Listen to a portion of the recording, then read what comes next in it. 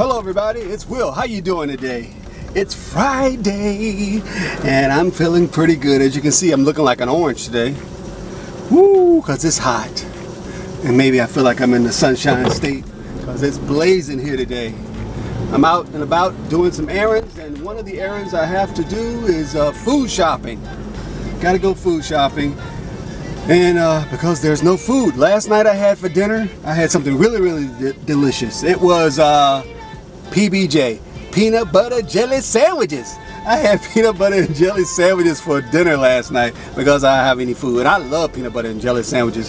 So uh, that hit the spot. But today I thought I would get out, go food shopping before the crowds get in the uh, market. And it's, you know, Friday. What time is it now? It's about 3.30 now.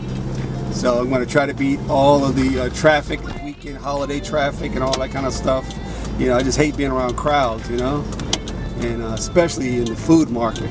So another thing I'm going to do before I go food shopping, I'm going to have dinner somewhere or lunch, something to eat, lunch maybe, not dinner, but lunch. I'm going to sit down somewhere, write out my list of food I need to get, relax, because I have made the mistake in the past by going to the food market, that's a no-no, especially on an empty stomach when you're hungry.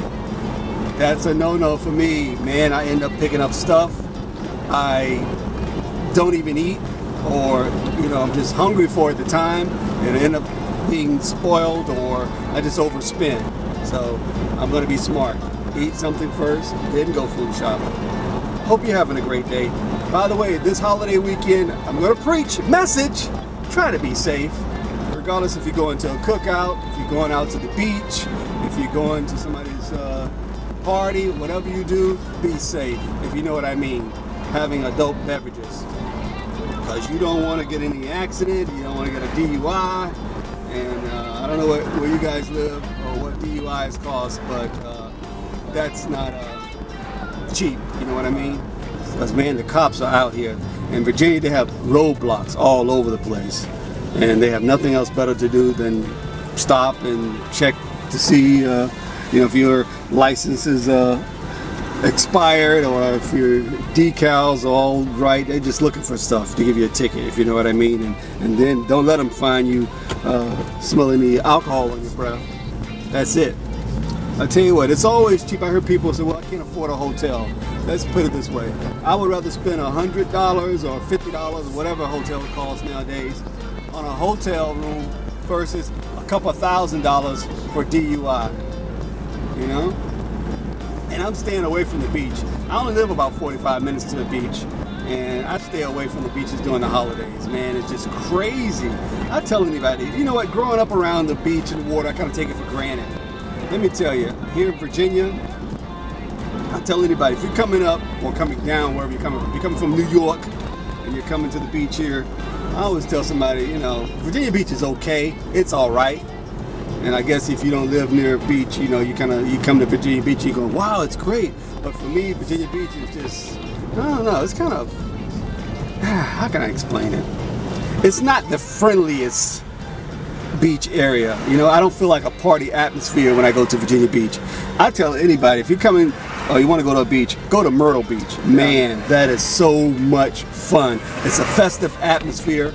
It, you feel safe. And you know what? I feel safe at Virginia Beach, but I think the cops kind of like intimidate people, man. You just feel like, uh, how can I explain? I, I feel like I'm in a, uh, you know, a state where you can't really relax, you know, especially at Virginia Beach. I don't feel comfortable. I feel like I'm being watched all the time. And mind you, I've never had any problems with cops, but I don't go to the beach when it's tourist season because I just feel, you know, I feel like uh, they're almost like uh, Gestapo, the police. It's like, where are your papers? Yes, where are you staying here? How long will you be in town? Yeah? Don't make me tase you, bro. I understand you have to have the police officers at the beach sometimes because you got people who don't know how to drink. That's why I'll say, you know, to get out of hand. You got families down there trying to enjoy themselves. People blasting the music and, you know, and today's music. You know, I'm not a stuck up kind of person, but, you know, you got all kinds of language being blasted and everybody don't want to hear your music. especially if you got your kids down there. So I can understand having the cops, but man, the cops are on horseback, they're on bicycle, they're walking, and uh, they don't look too friendly. They don't look like they want to, you know, you don't feel welcome. Let's put it that way. And if you could just, I got a cup right here now, right? I can be drinking water. They will give you some looks like, uh, what are you drinking? You know, almost like they want to check to see if you have something in it. You know, it's just, I don't know. This, I can't explain it. You have to come down and see for yourself. But I went to Myrtle Beach. Oh man, I felt so relaxed, so, you know, just so much fun, so many things to do. I don't know, maybe it's just me. But whatever you do this weekend, be safe, have a good time, your cookouts, being with your family and friends, just be safe. I'm gonna be nowhere near people, a lot of people. I'm just gonna be away and uh, chilling out, if you know what I mean. I may make a video. Hey, this is my 99th video. Memorial Day weekend. I just thought about that. I'm almost at one more video and it'll be 100 vlogs. Sounds like a celebration. Charlie Murphy, 100 video vlogs. Pow!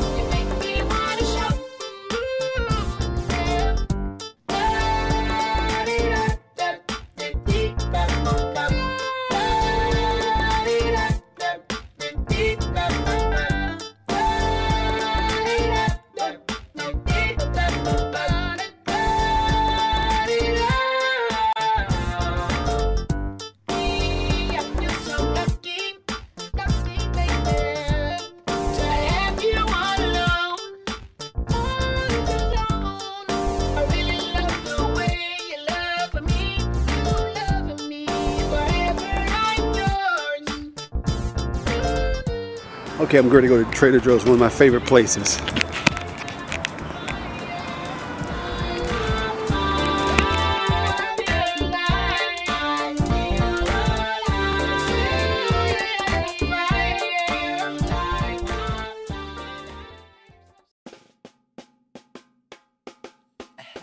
I just, I was shocked because Gary Coleman was somebody who I remember growing up and bringing a lot of smiles to my face, you know as a kid, I was watching uh, Diff'rent Strokes. By the way, he died today at the age of 42. 42 years old. That's young. 42 years old. I was just driving. I was out doing food shopping, you know, for the Memorial Day holiday weekend, and, uh, and I heard the news that uh, he passed away. You know, man. I remember Diff'rent Strokes when I first saw Gary Coleman. this little guy, this little kid. I thought he was just like you know, a man, a little man, because he knew his lines. He, he delivered his, his lines like no other kid I'd ever seen. I mean, he was funny, real, really, really funny, and uh, he will be missed. And I'm, I'm, sad to hear about that. And uh, my condolences go to Gary Coleman's family and his wife. And I'm not going to talk about all the other issues that were uh, surrounding his life uh, that happened later on. But I just only want to remember the good stuff, you know, the good times, uh, the good memories that I remember watching Gary Coleman. And uh, what was his famous line he was good for? What you talking about, Willis? Remember that? What you talking about, Willis? wow, man. When you hear about somebody younger than you, and I'm older than Gary, of course, passing away like that, it just makes you reflect on your life and how precious life is, you know?